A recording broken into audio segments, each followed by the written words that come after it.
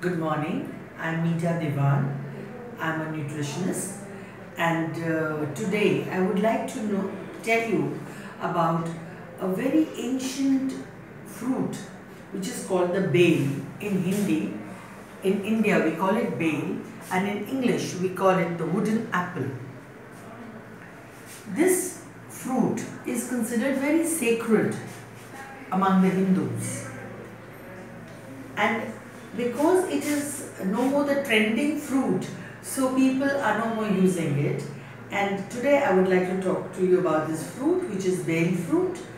Now, this fruit has got a very hard shell outside and it has taken 11 months to ripen. So, it is packed with nutrients. Can you imagine that it is this fruit when we break it open because the, pulp, the shell is so hard so we break it open and you see this yellow mushy pulp inside and it smells divine. Almost like roses it smells. And when we scoop it, we see that there are seeds in this which are fibrous and you can see the gum.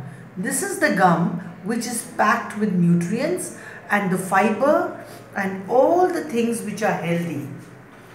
This fruit contains carbohydrates, it is rich in carbohydrates, it has proteins, it is rich in vitamin A, vitamin B, vitamin C, it has got calcium, potassium, tannins and gums. So, uh, what, how to eat this? Because people find it very tedious to eat it. You can just take this, scoop it out and eat it. It, it is delicious or you can, uh, people make jams out of it or they can freeze it as such, the pulp you can freeze it. And traditionally, we have been using bael sharbat.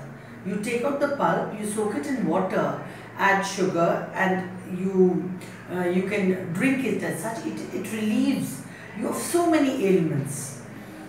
Uh, this particular fruit has got so much of fiber that it relieves constipation. It is used for people to relieve them of hemorrhoids. It has um, it, uh, it has got antibacterial, antiviral properties.